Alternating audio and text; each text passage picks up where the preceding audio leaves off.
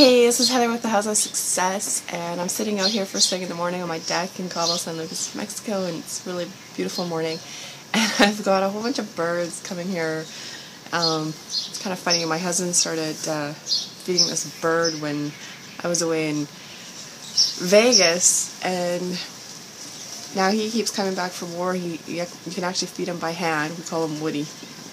We think he's some sort of a woodpecker, but anyway, it's just kind of funny because now it seems like he's called all his friends, his buddies, and now every morning they're pretty much demanding to be fed, which is kind of funny. It's pretty, pretty uh, neat way to spend the morning having my tea, working on the computer, having a bunch of birds hanging around with me. So anyway, I was just thinking, um, as I'm holding my hands out, my hand out and uh, feeding Woody by hand, it uh, it takes a lot of patience um, to sit there and, and on my behalf for him to come up to me, and he has a lot of trust to uh, and patience to come up to me slowly and eat from my hand, which is kind of cool.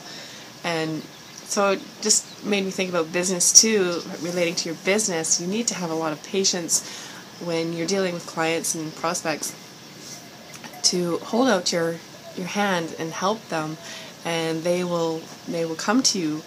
Um, don't attack them like a vulture, and just you know be willing to spend the time that it takes for them to come to you and, and trust you.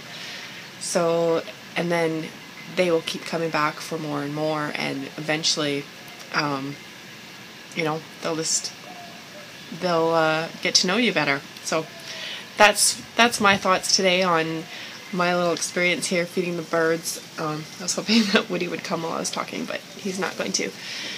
So anyway, so be uh, be patient and take your time with um, people that you're dealing with, and don't over be overbearing, and everything will turn out awesome.